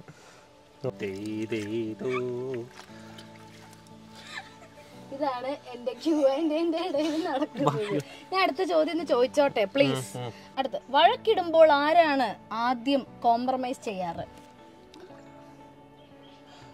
കാരണം എന്താന്ന് വെച്ച് കഴിഞ്ഞാൽ ഞാൻ വെറുതെ വഴക്കിടാൻ പോവാറില്ല. വെറുതെ ഇരിക്കുന്ന എന്നെ ഇരുന്ന് ചൂടുന്നു. അല്ല തെച്ച് ഇങ്ങനെ വഴക്കിടുന്ന. പിന്നെ നമ്മൾ എന്തിനാ പോയി കോംപ്രമൈസ് ചെയ്യുന്നത്? പക്ഷേ പക്ഷെ ചെറിയ കാര്യത്തിനായിരിക്കും ഞാൻ അടി ഉണ്ടാക്കി ഉണ്ടാവുക അതിന് തേശേട്ടൻ എന്നെ ഒരുപാട് ചീത്ത പറയും. എന്നിട്ടും ഞാൻ പോയിട്ട് കോംപ്രമൈസ് ചെയ്യും. പാവം ഞാൻ. മിണ്ടാതിരിക്കുന്നവന്റെ ശബ്ദം ഗർജനത്തെക്കാൾ ഭയങ്കരമാണ് അടുത്ത ചോദ്യം. Finance planning who spends more അങ്ങനെ വെഡിങ്ങിലെ നമ്മുടെ ഫിനാൻസ് പ്ലാനിങ് അങ്ങനത്തെ കുറേ സംഭവങ്ങൾ കുറേ ഫിനാൻസ് റിലേറ്റഡ് നമ്മൾ എങ്ങനെയാണ് അത് മാനേജ് ചെയ്യുന്നതെന്നുള്ള ചോദ്യം ചോദിച്ചിട്ടുണ്ട്. പറയൂ. ഫിനാൻസ് പ്ലാനിങ് ഒരു പ്ലാനിങ് പ്ലാനിങ് ഒക്കെ ഉണ്ട്. ഞാൻ ഞാൻ പലപ്പോഴും കൺട്രോൾ ചെയ്യാറുണ്ട്. ഇപ്പോൾ നമ്മൾ ഇങ്ങനെ ഇപ്പോൾ എനിക്ക് കിട്ടുന്ന ഒരു ഫിക്സഡ് ആയിട്ടുള്ളൊരു സാലറി അപ്പോൾ നമ്മൾ സെയിൽ പോകുമ്പോൾ ഇത്രയും കാശ് കിട്ടും. അത് തന്നെ നമ്മൾ വെക്കേഷൻ വന്നു കഴിഞ്ഞാൽ അതിൽ നിന്ന് പിടിച്ച് ചിലവാക്കിയില്ലെങ്കിൽ നമ്മൾ വെള്ളത്തിൽ ചാടേണ്ടി വരും. അതുകൊണ്ട് ഞാനെപ്പോഴും കുറച്ച് ലിമിറ്റഡ് ആയിട്ടുള്ള ചിലവുകളൊക്കെ ഉള്ളൂ. നമ്മളെ കൊണ്ട് പറ്റുന്ന പോലത്തെ അല്ലേ? ഒരു മാസം ഇത്രയും ചിലവാക്കണം എന്ന് എന്റെ മനസ്സിൽ കാണും. അത് തീർന്നു കഴിഞ്ഞാൽ തിരിച്ച് കപ്പലിൽ പോകേണ്ടി വരും. അതുകൊണ്ട് കൺട്രോൾ ചെയ്ത് ചിലവാക്കും. എനിക്ക് ഇപ്പോഴാണ് ഞാൻ ഇപ്പോന്ന് ഇപ്പോൾ കഴിഞ്ഞൊരു രണ്ട് വർഷമായിട്ടാണ് ഒരു കൺസിസ്റ്റന്റ്ലി ഏൺ ചെയ്യാൻ തുടങ്ങിയിട്ടുള്ളത്. എനിക്ക് പക്ഷേ ഇതുവരെ നമുക്ക് കുറേ എനിക്ക് കുറച്ച് റെസ്പോൺസിബിലിറ്റീസ് ഉണ്ടായിരുന്നു എനിക്ക് ചെയ്തു തീർക്കേണ്ട കാര്യങ്ങളുണ്ടായിരുന്നു. അപ്പോൾ എനിക്ക് ഇതുവരെ സേവ് ചെയ്യാൻ പറ്റിയിട്ടില്ല ഒന്നും. ഇനി എനിക്ക് സ്റ്റാർട്ട് ചെയ്യണം. ഞാൻ സേവ് കാരണം ഇപ്പോൾ കല്യാണമായിട്ടും കുറേ ചിലവുകളായിരുന്നു. അപ്പോൾ എനിക്ക് ഒന്നും സേവ് ചെയ്യാൻ പറ്റിയിട്ടില്ല. അപ്പോൾ ഞാൻ ഇനിയിപ്പോൾ സ്റ്റാർട്ട് ചെയ്യാണ്. എനിക്ക് ആഗ്രഹമുണ്ട്. നമുക്ക് രണ്ടുപേർക്കും അങ്ങനെ സേവിങ്സും കാര്യങ്ങളൊന്നുമില്ല. ഇല്ല. പക്ഷേ അല്ല.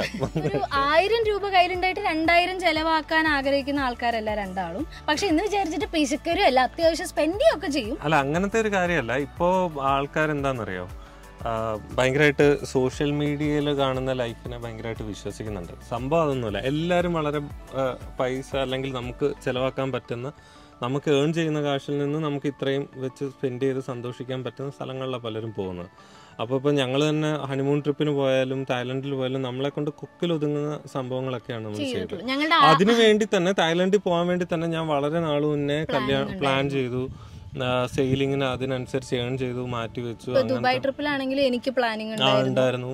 അങ്ങനത്തെ ഓരോ കാര്യങ്ങളൊക്കെ ഉണ്ട്. അപ്പോൾ നമ്മൾ പറ്റുന്ന പോലെ ചെയ്യുക നമുക്ക് ഏൺ ചെയ്യുന്ന ഒരു സമയം ഉണ്ടെങ്കിൽ അതിന് ആനുപാതികമായിട്ട് നമ്മൾ ചെലവഴിക്കുക. അത്രേ എനിക്ക് തോന്നുന്നു ഇപ്പൊ കല്യാണത്തിനായാലും എനിക്ക് വ്യക്തമായിട്ടൊരു ഒരു ബഡ്ജറ്റ് ഞാൻ തേജസേട്ടൻ കണ്ടിട്ടുണ്ട്. പക്ഷെ എന്നാലും ഇപ്പൊ നമ്മൾ അഞ്ചു ലക്ഷം ഒരു എക്സാമ്പിൾ വേണം അഞ്ചു ലക്ഷം വെച്ചാൽ എന്തായാലും അത് ആറ് അത് അവസാനിക്കും അതിപ്പോ ഒരു വീട് പണിയാണെങ്കിലും നമുക്കറിയാലോ റെനോവേഷൻ ആണെങ്കിലും ഇത്ര രൂപയിൽ ഇപ്പൊ പത്ത് രൂപയിൽ ചെയ്യാന്ന് വിചാരിച്ചാൽ അത് എന്തായാലും ഇരുപത് രൂപയോ? പക്ഷെ അതൊക്കെ ഒരു പ്രോപ്പർ പ്ലാനിങ് ഉണ്ടായിരുന്നു. എനിക്കായാലും കല്യാണത്തിന് തേജസേട്ടനായാലും കല്യാണത്തിനൊക്കെ പക്ക ഒരു ഫിനാൻഷ്യൽ പ്ലാനിങ്ങോടെ തന്നെയാണ് നമ്മൾ പോയത്. അതുകൊണ്ട് നമുക്കൊരു ബാധ്യത കല്യാണത്തിന് ശേഷം ദൈവം സഹായിച്ചിട്ട് ഉണ്ടായിട്ടില്ല. കാരണം നമ്മൾ വ്യക്തമായൊരു പ്ലാനിങ്ങിൽ തന്നെയാണ് പോയിട്ടുള്ളത്. അതുകൊണ്ട് വലിയ കുഴപ്പമില്ല. ഇനിയിപ്പോൾ ട്രിപ്പ് ആണെങ്കിലും നമ്മുടെ ഞങ്ങൾക്ക് ആക്ച്വലി ആഗ്രഹം അങ്ങനെ വേറെ ക്വസ്റ്റ്യൻ ഉണ്ടായിരുന്നു. നമുക്ക് ഏറ്റവും പോവാൻ ആഗ്രഹമുള്ള സ്ഥലം. ഞങ്ങൾക്ക് സ്വിറ്റ്സർലാൻഡ് ആയിരുന്നു. പക്ഷെ ഞങ്ങളുടെ കയ്യിൽ പൈസ അത്രയ്ക്കും ഉണ്ടായിരുന്നില്ല. ഇനിയിപ്പോൾ രണ്ടുപേരും ഇട്ടാലും നമുക്കത് കൊക്കിൽ ഒതുങ്ങാത്ത ഒരു ട്രിപ്പ് ആയതുകൊണ്ട് ഞങ്ങളത് വേണ്ടാന്ന് വെച്ചു. പിന്നെ വിസയ്ക്കും കുറച്ച് ഫോർമാലിറ്റീസും സമയവും കൂടുതലാണ്. പക്ഷെ എന്തെങ്കിലുമൊക്കെ നമ്മളെ കൊണ്ട് പറ്റും അല്ലേ? ഒരു ദിവസം പോവാം. ഓ ഒരു ദിവസം പോവും. ഓക്കെ. അതാണ് അപ്പോൾ പിന്നെ പിന്നെ വേറെ ചോദിച്ചിട്ടുണ്ട്. ഹസ്ബൻഡിനെ ഡിപ്പെൻഡ് ചെയ്യാറുണ്ടോ? അതായത് ഇപ്പോൾ ബീങ് ഇൻഡിപെൻഡന്റ് ഹസ്ബൻഡിനെ ഡിപ്പെൻഡ് ചെയ്യേണ്ടി വന്ന അവസ്ഥയുണ്ടോ എന്ന്? ഫസ്റ്റ് ഓഫ് ഓൾ ഈ അങ്ങോട്ടും ഇങ്ങോട്ടും ഡിപ്പെൻഡ് ചെയ്യുന്ന അത്ര മോശം കാര്യമൊന്നുമല്ല. ഇപ്പൊ ഒരാൾക്ക് ഒരു ആവശ്യം ഉണ്ടെങ്കിൽ അത് ഏതൊരാളും ചെയ്യുന്ന ഒരു കാര്യമാണ്. ഞങ്ങൾക്ക് അങ്ങോട്ടും ഇങ്ങോട്ടും നമ്മൾ ആദ്യം പറഞ്ഞിട്ടുണ്ട്. ഇപ്പൊ ഞാൻ ഏൺ ചെയ്യുന്നതാണെങ്കിലും തേസേട്ടൻ ഏൺ ചെയ്യുന്നതാണെങ്കിലും ഓക്കെ ഇത് എന്റെ അല്ലെങ്കിൽ അത് തേസേട്ടന്റെ അങ്ങനെ ഒരു സംഭവം വെച്ചിട്ടല്ല. ഭർത്താവും ഭാര്യയും തന്നെ വിടും. ഇപ്പൊ നമുക്കിപ്പോ കൂട്ടുകാരാണെങ്കിൽ തന്നെ ഒരു ആവശ്യം ഉണ്ടെങ്കിൽ നമ്മുടെ അടുത്ത് ചോദിക്കും. അപ്പോ നമ്മൾ അവരെ സഹായിക്കാം. അത് നോർമലി ഉണ്ടാവുന്ന ഒരു കാര്യമാണ്. അല്ലാണ്ട് നമ്മളൊരു കാര്യം മാത്രം എക്സ്പെക്ട് ചെയ്ത് ഒരാളുടെ അടുത്ത് കമ്പനി ആവുന്ന അത് വളരെ മോശമാണ്. പക്ഷെ ഒരു ആവശ്യം വന്ന അങ്ങോട്ടും ഇങ്ങോട്ടും നമ്മൾ ഞങ്ങൾ അങ്ങനെ ചിന്തിച്ചിട്ടില്ല. അയ്യോ ഡിപ്പെൻഡിങ് ഇപ്പൊ തേജസേട്ടൻ എന്നെ ഡിപ്പെൻഡ് അല്ലെങ്കിൽ ഞാൻ തേജസേട്ടനെ ഡിപ്പെൻഡ് ചെയ്യാം. അങ്ങനെയൊക്കെ ചിന്തിക്കാൻ നിന്ന് കഴിഞ്ഞാൽ അത് കോംപ്ലിക്കേറ്റഡ് ആവും. അതിന് പകരം ഇപ്പോ ആരുടെയിലാണോ ഉള്ളത്? ഒരു അത്യാവശ്യത്തിന് ഞങ്ങൾ അങ്ങോട്ടും ഇങ്ങോട്ടും അല്ലേ? അത്രേ ഉള്ളൂ. അതിനെങ്ങനെ അയ്യോ. നമ്മളുടെ ആരുടെയും ലൈഫ് അങ്ങനെ കോൺസ്റ്റന്റ് ആയിട്ട് നിൽക്കില്ല പൈസ വരാം പോവാം. പിന്നെ ഈഗോ എന്നുള്ളൊരു സാധനം ഒരിക്കലും മനസ്സിൽ അല്ല ഈഗോ ഒക്കെ ഉണ്ടാവും. അത് നമ്മൾ എപ്പോഴായാലും ഉണ്ടാവും. പക്ഷെ അത് ഒരു ലിമിറ്റ് വിട്ട് പോകാൻ പാടില്ല. അത് ലൈഫിനെ ബാധിക്കാൻ പാടില്ല. അത്ര കുറച്ച് സീരിയസ് ആയി പോകുന്നുണ്ടോ കോൺവെർസേഷൻ ഞാൻ ഫിലോസഫിക്കല്ല ആ ശരി. ഓക്കെ നമ്മുടെ നെക്സ്റ്റ് ട്രിപ്പ് ഇങ്ങടാവുന്നു തേസേട്ട ഷിപ്പിലേക്ക് ഞാൻ എന്റെ വീട്ടിലേക്ക്. ഇനി തേസായിട്ട് പോകാറുണ്ട് ഞങ്ങൾ ഇനി ലാസ്റ്റ് മിനിറ്റ് ട്രിപ്സ് ഒന്നുമില്ല. ഇനി കുറച്ചു നേരം റിലാക്സ് ചെയ്തിരിക്കുക പാക്ക് ചെയ്യുക സ്ഥലം വിടുക എന്നുള്ളൊരു പരിപാടിയാണ്. വേറെ ട്രിപ്പ് ഒന്നുമില്ല. പിന്നെ ഓൾറെഡി നമ്മൾ പറഞ്ഞു പോകാൻ ആഗ്രഹമുള്ള സ്ഥലം സ്വിറ്റ്സർലൻഡ് അല്ലേ? കുറേ സ്ഥലങ്ങളുണ്ട് പോകാൻ ആഗ്രഹമുള്ള. ഞങ്ങൾക്ക് ആക്ച്വലി ഇന്ത്യയിൽ തന്നെ നമ്മുടെ നോർത്ത് ഈസ്റ്റ് അല്ലേ? നോർത്ത് ഈസ്റ്റ് അല്ലേ? നോർത്ത് ഈസ്റ്റും ഒക്കെ ഉണ്ട്. കേരളത്തിൽ തന്നെ കുറേ സ്ഥലങ്ങൾ പെൻഡിങ് ഉണ്ട്. കുറേ ഉണ്ട് ഞങ്ങൾക്ക് എവിടെയും ഞങ്ങളൊരു ചെറിയ വീടിന്റെ അടുത്ത് ഇപ്പൊ ഞാൻ ഇപ്രാവശ്യം വീടിന്റെ അടുത്ത് പുതിയൊരു വെള്ളച്ചാട്ടം ഞാൻ കണ്ടുപിടിച്ചില്ലേ? തേച്ചിട്ട് ഇത്ര കാലമായിട്ട് അത് അറിഞ്ഞിട്ടില്ല അവിടെ അങ്ങനെ ഒരു വെള്ളച്ചാട്ടം ഉള്ളത്. ഇത് ഇത്തിരി ലോങ് വീഡിയോ ആയിരിക്കും. എല്ലാവരും ഒന്ന് സഹിക്കേണ്ടി വരും. കാരണം കുറേ ക്വസ്റ്റ്യൻസ് ഉണ്ട്. ഇതൊന്നും വിട്ടു കളയാനും പറ്റാത്ത ചോദ്യങ്ങൾ അടുത്ത ചോദ്യത്തിലേക്ക് വേഗം പോട്ടെ ഞാൻ. പോട്ടെ? തേസേട്ടന് എന്റെ നാട് ഇഷ്ടപ്പെട്ടോ? എനിക്ക് കൊല്ലം ഇഷ്ടപ്പെട്ടോ? എന്തൊക്കെയാണ് ഏറ്റവും ഇഷ്ടപ്പെട്ട കാര്യങ്ങൾ? അല്ലെങ്കിൽ എന്തെങ്കിലും ഭയങ്കരമായ വ്യത്യാസങ്ങൾ തോന്നിയിട്ടുണ്ടോ? ഇതാണ് അടുത്ത ചോദ്യം. എനിക്ക് സ്ഥലം പണ്ട് തൊട്ട് നമ്മൾ സിനിമയിൽ ഈ ഒറ്റപ്പാലം പട്ടാമ്പി പാലക്കാട് എന്നൊക്കെ കാണുന്നതുകൊണ്ട് എനിക്ക് ഭയങ്കര ഒരു പക്ഷെ ഭാഷയിൽ നല്ല വ്യത്യാസമുണ്ട്. നമ്മൾ കുറച്ചുകൂടെ കൊല്ലം ആ സ്ഥലത്ത് ഭയങ്കര നമ്മൾ സംസാരിക്കുമ്പോൾ പലപ്പോഴും ദേഷ്യപ്പെടുന്ന പോലെ സംസാരിക്കുന്നതാണോ എന്നൊക്കെ ഒരു തോന്നലുണ്ടാവും പിന്നെ അതേപോലെ അല്ലേ നമ്മുടെ കൊല്ലം പറയുമ്പോഴത്തേക്ക് എല്ലാവർക്കും പെട്ടെന്ന് ഒരു ബാഡ് വൈബാണ് പെട്ടെന്ന് അഴിയുക. കാരണം സ്ത്രീധനം അങ്ങനത്തെ കാര്യങ്ങളൊക്കെ. പക്ഷെ എല്ലാ സ്ഥലത്തും എല്ലാത്തരം ആൾക്കാരും ഉണ്ട് പക്ഷെ കൂടുതലും പലരും മീഡിയ കവറേജും ഈ കാരണം ആൾക്കാർ റിയാക്ട് ചെയ്യുന്നതുകൊണ്ട് പലരും കൊല്ലം എന്നുള്ള സ്ഥലം എംഫസൈസ് ചെയ്ത് പറയും. എന്നുള്ള പ്രശ്നം മാത്രമേ ഉള്ളൂ. ആ, കാരണം ആൾ കണ്ടിട്ടുള്ളതാണ്. എല്ലാ അവിടെയും നല്ല ആൾക്കാരൊക്കെ ഉണ്ട്. അല്ലാതെ നമുക്ക് ഒരു ഉള്ളൊരു മിസ്കോൺസെപ്ഷൻ ആണല്ലേ? അതായത് ആ സൈഡിലേക്ക് എല്ലാവരും ഇങ്ങനെയാണെന്നുള്ളത്. പക്ഷെ എനിക്കും പണ്ട് ചെറിയൊരു സംശയമൊക്കെ ഉണ്ടായിരുന്നു. അത് സ്വാഭാവികമായിട്ടും എല്ലാവർക്കും ഉള്ള നമ്മളിങ്ങനെ പറയൂ തെക്ക് സൈഡിലേക്ക് പോരുത്. അങ്ങനെ കുറേ നമ്മൾ കേട്ടിട്ടുണ്ട് പണ്ട് തൊട്ടേ. എനിക്കും അത് മനസ്സിലുണ്ടായിരുന്നു. കാരണം നമ്മളത് കേട്ട് വളർന്ന ആൾക്കാരാണ്. പക്ഷെ എനിക്ക് മനസ്സിലായി ഇപ്പൊ നമ്മുടെ നാട്ടിലാണെങ്കിലും നല്ലവരും ഉണ്ട് ചീത്തവരും ഉണ്ട്. അതുപോലെ ഇവരുടെ കാരണം അത് എന്താണെന്നറിയാം എനിക്കത് ഭയങ്കരമായിട്ട് ഫീൽ ചെയ്യുന്നത് എന്റെ അടുത്ത് പലപ്പോഴും പലരും പറഞ്ഞിട്ടുണ്ട് തെക്കനെയും മൂർഖനെയും കണ്ടു കഴിഞ്ഞാൽ ആദ്യം തെക്കനെ തല്ലിക്കും. ഇത് നമ്മളിപ്പോൾ നോർത്തിൽ ആൾക്കാർ നമ്മളെ മദ്രാസിൽ നിന്ന് വിളിക്കുന്നതിന്റെ ആ ഒരു ഫീലിംഗ് ആണ് നമുക്ക്. അത് അനുഭവിക്കുന്നവർക്കറിയാം. കാരണം നമുക്ക് എങ്ങനെ ഒരു സ്ഥലം വെച്ച് ഒരാളെ ജഡ്ജ് ചെയ്യാൻ പറ്റും? അതൊരിക്കലും പറ്റില്ല. അപ്പം നമ്മൾ അങ്ങനത്തെ ജോക്സും അല്ലേ കാര്യങ്ങളും അല്ല അത് ശരിയായിട്ടുള്ളൊരു കാര്യമാണ്. ഈവൻ എനിക്കും അങ്ങനെ ഒരു ചിന്ത ഉണ്ടായിരുന്നു. പക്ഷേ നമ്മൾ ആലോചിക്കുമ്പോൾ ശരിയാണ്. നല്ല ആൾക്കാർ എല്ലാ സ്ഥലത്തും ഉണ്ട്. ഇപ്പൊ ഈ നമ്മുടെ സൈഡിലേക്ക് വന്നു എന്ന് വിചാരിച്ച് എല്ലാവരും നന്മമരങ്ങളായിക്കൊള്ളണമെന്നില്ല എന്ന് വിചാരിച്ചിട്ട് എല്ലാവരും ദുഷ്ടന്മാരും അല്ല അതേപോലെ തന്നെയാണ് അവിടെ. ഇപ്പൊ തേജാറിന്റെ ഫാമിലിയിൽ എനിക്ക് അങ്ങനെ ഒരു സംഭവമേ എനിക്ക് അങ്ങനെ ഫീൽ ചെയ്തിട്ടില്ല. അപ്പോൾ ഇവൻ അവിടുത്തെ ആൾക്കാർ ഉണ്ടാവാം. അല്ലേ? ഇപ്പൊ പത്തിൽ ഒന്നോ രണ്ടോ ആൾക്കാരുണ്ടാവും. അതിപ്പോ നമ്മുടെ നാട്ടിലുണ്ടാവും. അങ്ങനെ കൊല്ലം ഇങ്ങനെയാണ് അല്ലെങ്കിൽ പാലക്കാട് ഇങ്ങനെയാണ് അങ്ങനെയൊന്നുമില്ല. എല്ലാം പലതരം ആൾക്കാരിലാണ്. പിന്നെ എനിക്ക് ഇഷ്ടപ്പെട്ടു സ്ഥലം. കാരണം ഇതേപോലെ പുതിയ പുതിയ സ്ഥലങ്ങൾ എക്സ്പ്ലോർ ചെയ്യാൻ ഇഷ്ടമുള്ള ആളാണ് ഞാൻ. അപ്പോൾ എനിക്ക് കൊല്ലം ഇഷ്ടപ്പെട്ടു. തേസേട്ടന് നമ്മുടെ നാടും കാരണം വരിക്കാശ്ശേരി വനൊക്കെ കാണണമെന്ന് ഭയങ്കര ആഗ്രഹം ഉണ്ടായിരുന്നു. തേസേട്ടൻ അതൊക്കെ പോയി കണ്ടു. പിന്നെ ഇങ്ങനത്തെ കുളങ്ങൾ എനിക്ക് തോന്നുന്നു ഇങ്ങനത്തെ സംഭവങ്ങളൊക്കെ കുറച്ച് കുറവാണ് അവിടെ. അല്ലെ? കൊല്ലം സൈഡിക്ക്. കുളങ്ങളുണ്ട് പക്ഷെ അങ്ങനത്തെ സ്ഥലം മീൻസ് നമ്മളുടെയൊക്കെ സ്ഥലം കുറച്ച് ഉയർന്ന സ്ഥലങ്ങളിലാണ്. അപ്പോൾ അവിടെ ഇത് കുറവാണ്. അപ്പോൾ ഞങ്ങൾക്ക് അങ്ങോട്ടും ഇങ്ങോട്ടും രണ്ട് കൾച്ചർ അല്ലേ? രണ്ട് ഭാഷ രണ്ട് കൾച്ചർ ഭക്ഷണ രീതികൾ കുറച്ച് വ്യത്യാസമാണ്. അപ്പോൾ അതൊക്കെ അങ്ങോട്ടും ഇങ്ങോട്ടും എൻജോയ് ചെയ്യാണ് എക്സ്പ്ലോർ ചെയ്യാണ് അത്രേ ഉള്ളൂ. അല്ലേ? Next question about negative comments. എനിക്ക് എനിക്ക് കുറച്ച് പറയാനുള്ളത് നെഗറ്റീവ് കമൻസ് ഈ ഇടയായിട്ട് എനിക്ക് ആവശ്യമില്ലാത്ത കുറച്ച് നെഗറ്റീവ് കമൻസ് ഞാൻ കാണുന്നുണ്ട്. കല്യാണം കഴിഞ്ഞതിന് ശേഷം മാളവികയ്ക്ക് ജാട കൂടി അല്ലേ? ഭയങ്കര അഹങ്കാരമായി ജാട കൂടി. പിന്നെ പിന്നെ എന്നെ എന്തിൽ എന്താ പറയുക നെഗറ്റീവ് പറയാൻ പറ്റും? അതിപ്പം എന്റെ ഹൈറ്റിനെ പറ്റി കുറ്റം പറയുക അല്ലെങ്കിൽ ഞാൻ വണ്ണം വെച്ചു എന്തൊരു വൃത്തിയുടെ അങ്ങനെ ഇങ്ങനെ. ഇപ്പം ആവശ്യമില്ലാത്ത കുറച്ച് ഹെയ്റ്റ് വരുന്നുണ്ടോ എന്ന് എനിക്കൊരു സംശയം. എന്തിനാന്ന് എനിക്കറിയില്ല. അത് നമ്മൾ ഈ ഫീൽഡിൽ നിൽക്കുമ്പോൾ എന്തായാലും അങ്ങനെയൊക്കെ ഇത്തിരി കൂടിയിട്ടുണ്ട് കല്യാണത്തിന് ശേഷം. എനിക്ക് ഞാനിങ്ങനെ എനിക്ക് അറിയില്ല എന്തുകൊണ്ടാണ് ഈ അഹങ്കാരം കൂടിയതൊക്കെ പറയണത്. എനിക്ക് ഒരു ഐഡിയ ഇല്ല എന്തുകൊണ്ടാണ്. അതിപ്പം എന്താ പറയാ അമ്മ അടിച്ചാൽ എന്താ രണ്ട് അഭിപ്രായം ഉണ്ടെന്ന് പറയുന്ന പോലെ നമ്മളിതിൽ നിൽക്കുന്നിടത്തോളം നമ്മളത് കേൾക്കാൻ ബാധ്യസ്ഥരാണ്. നല്ലതാണേലും മോശമാണ്. നമുക്കൊന്നും ചെയ്യാൻ പറ്റില്ല. അത് നമ്മൾ ഏതെങ്കിലും ഒരു ഇപ്പോൾ ഇപ്പോ നെഗറ്റീവ് ഉള്ള കാര്യമെന്ന് വിചാരിക്കുക. നമ്മളത് ഒരാളെ ഹേർട്ട് ചെയ്യുന്ന വെച്ച് പറയും. എനിക്കറിയില്ല ഇവർ എന്ത് മാനസികാവസ്ഥയിൽ ഇരിക്കുന്ന ആൾക്കാരാണ് ഇതൊക്കെ കമന്റ് ചെയ്യുന്നത് എന്നുള്ളത് എങ്ങനെ മനഃപൂർവം നമ്മളെ വിഷമിപ്പിക്കാം? അത് മാക്സിമം കുത്തി കുത്തി കമന്റ് ഇടുന്ന പല കമന്റ്സും ഞാൻ അതങ്ങനൊന്നുമില്ല അത് സത്യം പറഞ്ഞാൽ പണ്ട് നമ്മൾ മറ്റേ ഇപ്പൊ തിയേറ്ററിൽ സിനിമ കണ്ടുകൊണ്ടിരിക്കുമ്പോൾ കറണ്ട് പോയി കൂവല്ലോ. ആരാ കൂവുന്നതെന്ന് അറിയില്ല അത്ര ഒരു സംഭവമുള്ളൂ. നമുക്കിപ്പോൾ ഇന്റർനെറ്റിൽ നമ്മളുടെ സ്വന്തം ഐഡിയിലല്ല എന്ത് വേണേലും എന്ത് വേണേലും പറയാം. അപ്പോൾ ആർക്ക് വേണേലും എന്ത് വേണേലും പറയാം. നമ്മളത് വായിച്ചൊന്നും മനസ്സിലാക്കി അധികം സ്ത്രീകളാ പറയുന്നത്. അറിയില്ലല്ലോ. സ്ത്രീകളാണ് കാരണം എല്ലാം ഇതൊക്കെ ഒറിജിനൽ അക്കൗണ്ട് ആണെന്ന് അറിയില്ല. പക്ഷെ ഭയങ്കരമായിട്ട് നമുക്ക് ഹേർട്ട് ആവും. പക്ഷെ നമ്മൾ അതിൽ തള ഇപ്പൊ തേസായിട്ടിന് ആദ്യം അമ്മയായിരുന്നു ഇതുവരെ എന്റെ മെന്റൽ സപ്പോർട്ട് ഇപ്പൊ എനിക്ക് ഒരാളും കൂടി മെന്റൽ സപ്പോർട്ട് തരാറുണ്ട്. ഞാൻ ഡൗൺ ആവാറുണ്ട് കേട്ടോ. പക്ഷെ ഇവർ സമ്മതിക്കാറില്ല ഡൗൺ ആവാൻ. അല്ല നമ്മൾ ഡൗൺ ആയത് കാര്യമില്ല. കാരണം ഇപ്പം എന്ത് ചെയ്താലും അതിൽ രണ്ട് അഭിപ്രായമൊക്കെ ഉണ്ടാവും. അപ്പോൾ നമ്മൾ രണ്ടും കേൾക്കണം. അതിനകത്ത് എന്തെങ്കിലും കാര്യം ഉണ്ടെങ്കിൽ അത് മനസ്സിലാക്കണം. പക്ഷേ ഈ ബോഡി ഷെയിം അങ്ങനെയൊക്കെ ചെയ്യുന്നതിനോട് എനിക്ക് വലിയ താല്പര്യം സാരി ഉടുക്കുന്നതിൽ മാളവിക പ്രഗ്നന്റ് ആണോ എന്നൊക്കെ പറഞ്ഞിട്ട്. അതെന്താന്ന് വെച്ച് കഴിഞ്ഞാൽ എനിക്ക് വയറ് വല്ലാണ്ട് കാണുന്ന ഞാൻ അത്ര കംഫർട്ടബിൾ അല്ല. അതായത് സാരിയില്ല കാരണം അങ്ങോട്ടും ഇങ്ങോട്ടും പോകാൻ എനിക്ക് അറിയില്ല. അപ്പോൾ ക്രോപ്പ് ടോപ്പും സ്കേർട്ട് ഇടുന്ന പോലെയല്ല. സാരി ഇടുമ്പോൾ ഞാൻ ഭയങ്കര കോൺഷ്യസ് ആണ് ഞാൻ കയറ്റി സാരി ഉടുക്കും.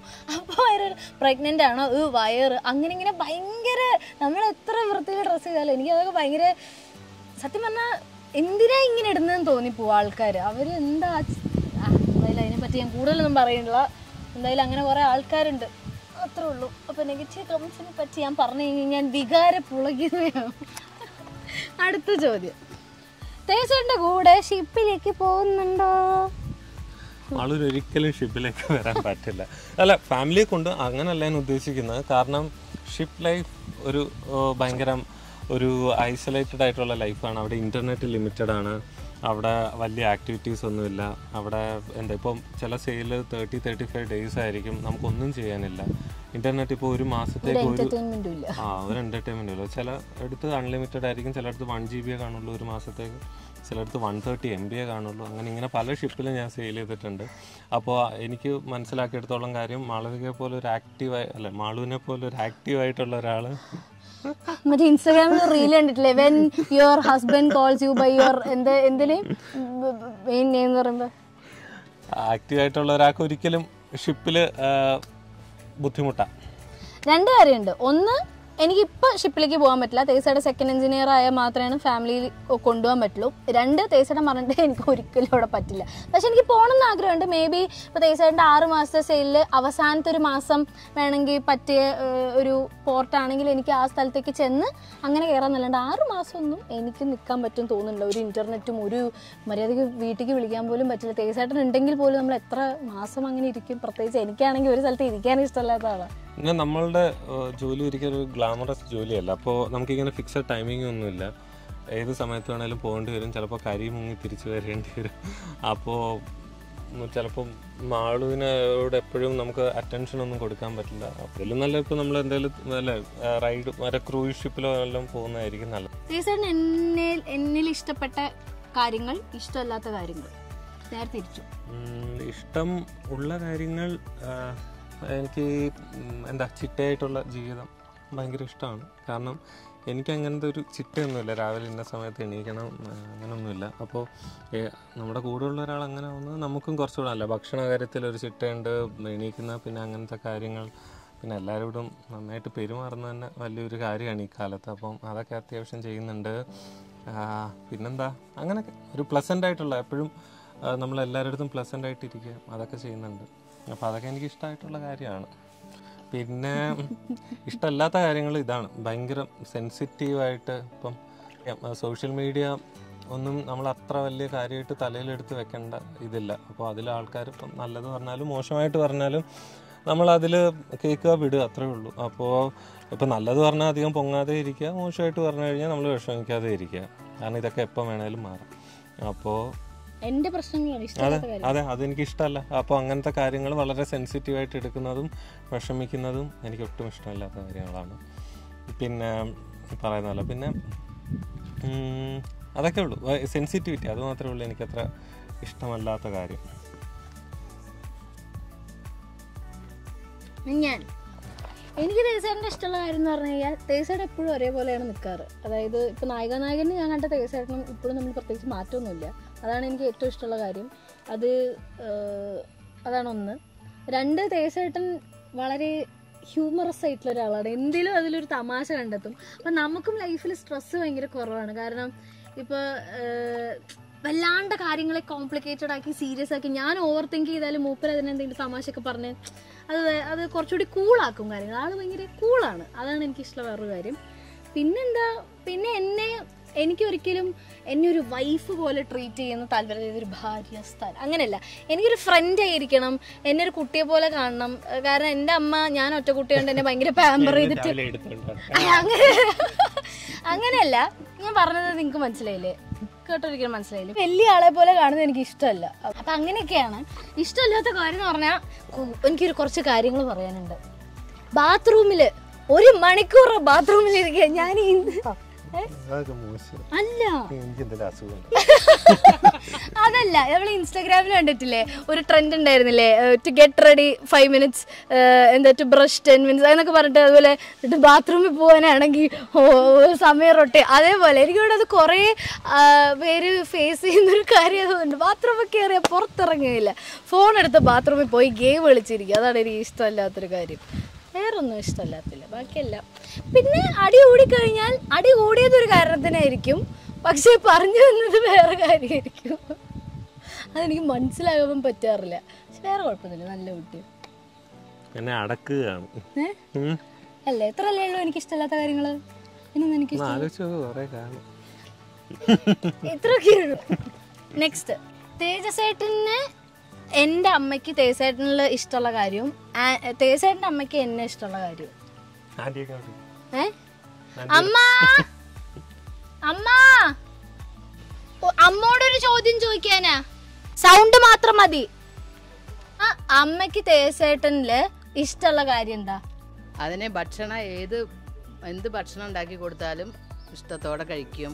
അതാണ് മാളൂന് അങ്ങനെ ഒരു സ്വഭാവമില്ല. മാളൂന് പല ഭക്ഷണവും ഇഷ്ടമല്ല. അത്രേ ഉള്ളൂ പിന്നെ സ്വഭാവം ഏ? അല്ല അതാണല്ലോ മെയിൻ ആയിട്ട് വേണ്ടത്. അതെ. അതാണോ അഡ്ജസ്റ്റ്മെന്റ് അല്ല? അതെ അഡ്ജസ്റ്റ്മെന്റ് അത്രേ ഉള്ളൂ? എന്ത് അഡ്ജസ്റ്റ്മെന്റ് നീ പെട്ടെന്ന് ഇങ്ങോട്ട് ചോദിച്ചാ ഞാൻ അടുക്കളയിന്നാ വരുന്നത് അതുകൊണ്ട് ഫുഡിന്റെ കാര്യം പറഞ്ഞത്. അപ്പൊ സ്വഭാവം ഇഷ്ടല്ല? അതന്നെയാണ് നല്ല സ്വഭാവല്ലേ ഇത്? ഏറ്റവും സ്വ- ഭക്ഷണത്തിന് കുറ്റം പറയാത്തതാണ് ഏറ്റവും നല്ല സ്വഭാവം. അല്ലേ? അതെ. ഞാൻ ബഹുമാനിക്കാറൊക്കെ ഉണ്ട് നീ പകുതിയും കഴിക്കില്ലേ ഉള്ളൂ. അതെന്റെ ഇപ്പൊ എനിക്ക് എന്താ വെച്ചാൽ അതുകൊണ്ട് ഏത് ഭക്ഷണം ഉണ്ടാക്കാം? മറ്റേത് നിനക്ക് ഇഷ്ടമുള്ളത് മാത്രല്ലേ ഞാൻ ആ മതി മതി ബാ, മൈക്ക് കൊണ്ടുപോയി. ബാ, ബാ, ബാ, മതി. ആന്റിക്ക് എന്ത് ഇഷ്ടമുള്ള കാര്യം ആന്റീനെ വിളിച്ചു ചോദിക്കാം നമുക്ക്. എന്താ പറയുക ആ മമ്മി ആ മമ്മി ഇപ്പൊ ഒരു ഓൺലൈൻ ഇന്റർവ്യൂലാണ്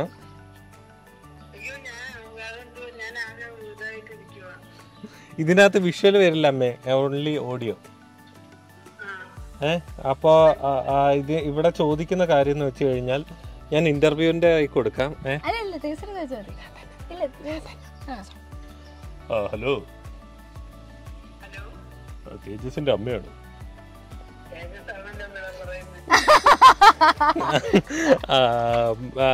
മാളു മാളവികയിൽ അല്ല മാളു. മാളുവിൽ അമ്മയ്ക്ക് ഇഷ്ടപ്പെട്ട കാര്യം എന്താണെന്ന്?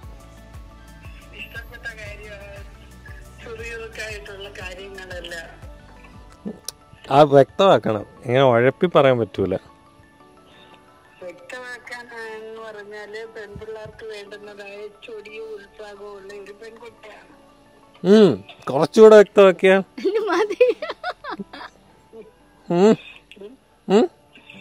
കുറച്ചുകൂടെ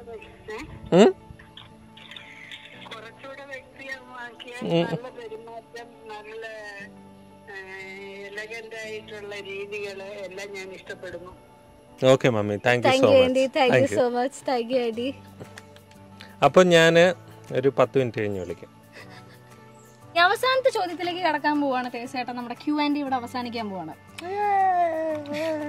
Just want want to know the importance of marriage or a partner in life is it okay to be single if you are financially independent and mentally strong to take care of your self and your family അതാണ് അവസാനത്തെ ചോദ്യം. വളരെ നല്ലൊരു ചോദ്യം അല്ലേ? ഇത്ര ചോദ്യം വന്നിട്ടുണ്ടായിരുന്നല്ലോ. ഇല്ല പത്ത് ആയിരം ചോദ്യം ഉണ്ട് പക്ഷെ എല്ലാം ആൻസർ ചെയ്യാൻ പറ്റണ്ടേ? ഒരു പത്ത് പാർട്ടായിട്ടാണ് ഇതിന്റെ ആൻസർ പറയും. നിർബന്ധമുണ്ടോ കല്യാണം കഴിക്കാൻ? നിർബന്ധമില്ല. ഒരു നിർബന്ധമില്ല. ഒരിക്കലും നിങ്ങൾക്ക് താല്പര്യം ഇല്ലെങ്കിൽ നിങ്ങൾ കല്യാണം കഴിക്കും. കാരണം താല്പര്യമില്ലാണ്ട് കല്യാണം കഴിച്ചിട്ട് അതൊരു രണ്ട് ഫാമിലിനെ രണ്ട് ഇൻഡിവിജ്വലിനെ വിഷമിപ്പിക്കുകയാണെങ്കിൽ നിങ്ങൾ അങ്ങനല്ല അതെ അതെ അത് ഉണ്ട് പിന്നെ അതേപോലെ അങ്ങനെ കല്യാണം കഴിച്ചിട്ട് സെപ്പറേറ്റ് ആയി പോയ കുറെ ആൾക്കാരെ എനിക്കറിയാം. അതെ അപ്പൊ നമ്മൾ ഒരിക്കലും താല്പര്യം ഇല്ലാണ്ട് ആരുടെയെങ്കിലും നിർബന്ധ പ്രകാരം നമ്മൾ കല്യാണം കഴിക്കരുത്. തികച്ചും നോർമലാണ് if you don't get married അത് അല്ലേ? അത് കല്യാണം കഴിച്ചു കഴിഞ്ഞാൽ എല്ലാം ശരിയാവും എന്നുള്ളൊരു ധാരണ. അങ്ങനെ കല്യാണം കഴിക്കുന്ന ആൾക്കാർ പക്ഷെ അങ്ങനെയൊന്നുമല്ല. നിങ്ങൾ പ്രിപ്പയർഡ് ആണ്. നിങ്ങൾക്ക് താല്പര്യം ഉണ്ടെങ്കിൽ മാത്രമേ കല്യാണം കഴിക്കുള്ളൂ അല്ല നിങ്ങൾ സിംഗിൾ ആയിട്ട് ജീവിക്കുകയാണ് നിങ്ങൾ ഫിനാൻഷ്യലി ഇൻഡിപെൻഡന്റ് ആണെങ്കിൽ ഒരു പ്രശ്നവുമില്ല പക്ഷെ വേറെ സംഭവമുണ്ട്. കല്യാണം കഴിച്ചാലും നിങ്ങൾ ഫിനാൻഷ്യലി ഇൻഡിപെൻഡന്റ് ആയിരിക്കണം. അത് ഒന്നും പ്രതീക്ഷിച്ചുകൊണ്ടും കല്യാണം കഴിക്കരുത്. അത് ശരിയാണ്. എക്സ്പെക്ടേഷൻ നമ്മൾ ആദ്യം പറഞ്ഞു. ഇപ്പൊ ഇപ്പൊ ഇങ്ങനെ ചില മിസ്കോൺസെപ്ഷൻ ഉണ്ട്. അതായത് കല്യാണം കഴിക്കുക നമ്മൾ ഫിനാൻഷ്യലി ഇൻഡിപെൻഡന്റ് ആവേണ്ട ആവശ്യമില്ല. കല്യാണം കഴിച്ചില്ലെങ്കിൽ അങ്ങനെയല്ല. എപ്പോഴും അത് പെൺകുട്ടിയാണെങ്കിലും ആൺകുട്ടിയാണെങ്കിലും ഫിനാൻഷ്യലി ഇൻഡിപെൻഡന്റ് ആവുക എന്നുള്ളത് എന്നും നല്ലൊരു കാര്യം തന്നെയാണ്. അത് നമുക്ക് അങ്ങനെ ആവുമ്പോഴാണ് അതല്ലാത്തപ്പോഴാണ് നമുക്ക് അതിന്റെ ബുദ്ധിമുട്ട് മനസ്സിലാവുള്ളൂ. പിന്നെ നിങ്ങൾ സിംഗിൾ ആയിട്ടിരിക്കുന്നത് നിങ്ങളുടെ ഇഷ്ടമാണ്. അല്ലാണ്ട് അങ്ങനെ നമ്മുടെ സൊസൈറ്റിയിൽ അങ്ങനെ ഒരു നിയമമൊന്നുമില്ല. അത് ആൾക്കാരുണ്ടാക്കുന്നതാണ്. സോ നിങ്ങൾക്ക് സിംഗിളായിട്ടാണ് താൽ- ഇരിക്കാൻ താല്പര്യമെങ്കിൽ എനിക്ക് എനിക്കെന്ന് പറഞ്ഞു കഴിഞ്ഞാൽ ഞാൻ കുറച്ച് ഡിപ് ഡിപ്പെൻഡ് പറഞ്ഞാൽ അങ്ങനെയല്ല. എനിക്ക് എപ്പോഴും ഇങ്ങനെ കമ്മിറ്റ്മെന്റിനോടും ഇതിനോടൊക്കെ ഇഷ്ടമുള്ള ആളാണ്. അപ്പോൾ ഞാൻ എന്തായാലും കല്യാണം കഴിക്കുന്നൊക്കെ വിചാരിച്ചിരുന്ന ആളാണ്. ചെറുപ്പത്തിലൊക്കെ ഞാൻ പറഞ്ഞിരുന്നു അത്ര ഞാൻ കല്യാണമേ കഴിക്കില്ല എന്നൊക്കെ. വലുതാകുമ്പോൾ പിന്നെ നമ്മൾ മാറുമല്ലോ അല്ലേ? അപ്പോൾ ഇഷ്ടമുണ്ടെങ്കിൽ കല്യാണം കഴിക്കാം ഇഷ്ടമില്ലെങ്കിൽ സിംഗിൾ ആയിട്ടിരിക്കുന്നതിന് ഒരു പ്രശ്നവുമില്ല. വളരെ നോർമൽ ആയിട്ടുള്ള ഒരു കാര്യമാണ്. പക്ഷേ സിംഗിൾ ആണെങ്കിലും കമ്മിറ്റഡ് ആണെങ്കിലും കല്യാണം ആണെങ്കിലും എന്താണെങ്കിലും നിങ്ങൾ ഫിനാൻഷ്യലി ഇൻഡിപെൻഡന്റ് ആയിരിക്കുക. നിങ്ങളുടെ ഒരു സ്പേസ് എപ്പോഴും അത് ഉണ്ടാവണം. പക്ഷേ എന്നാലും ചെറിയ ചെറിയ അഡ്ജസ്റ്റ് അഡ്ജസ്റ്റ്മെന്റ്സ് ഫാമിലി ലൈഫിലായാലും റിലേഷൻഷിപ്പിലും ആവശ്യം വരും. ട്രാൻസ്പെറൻസി വേണം സ്നേഹം വേണം സന്തോഷം വേണം സമാധാനം വേണം എല്ലാം വേണം. അല്ലേ? ഫുഡ് വേണം. ഫുഡ് വേണം. വേണം. ഓക്കെ അപ്പോൾ ഇതായിരുന്നു ഞങ്ങളുടെ Q and session തേസാട്ട how was the Q and session did you enjoy very much very much അങ്ങനെ കുളക്കടവിലുള്ള ഈ ക്യൂ ആൻഡ് സെഷൻ ഇവിടെ അവസാനിക്കാൻ പോവുകയാണ്. അണിയറ പ്രവർത്തകരായ പൂജ ക്യാമറയ്ക്ക് പുറകിലുണ്ട്. നന്ദി അറിയിക്കുന്നു. ദച്ചു. ഇത്ര നേരം നോക്കി നിന്ന് ദച്ചുവിന് മെന്റൽ സപ്പോർട്ടിൽ നിന്ന് ദച്ചുവിനും എന്റെ ഹൃദയം നിറഞ്ഞ നന്ദി അറിയിക്കുന്നു. ഇതുവരെ ഒച്ചയൊന്നും ഉണ്ടാക്കാണ്ട് നിന്ന മയിലുകളോടും കാക്കകളോടും കിളികളോടും എന്റെ നന്ദി പറഞ്ഞുകൊണ്ട് ഇന്നത്തെ ഹ്യൂ ആൻഡ് സെഷൻ ഇവിടെ അവസാനിപ്പിക്കുന്നു. നന്ദി നമസ്കാരം.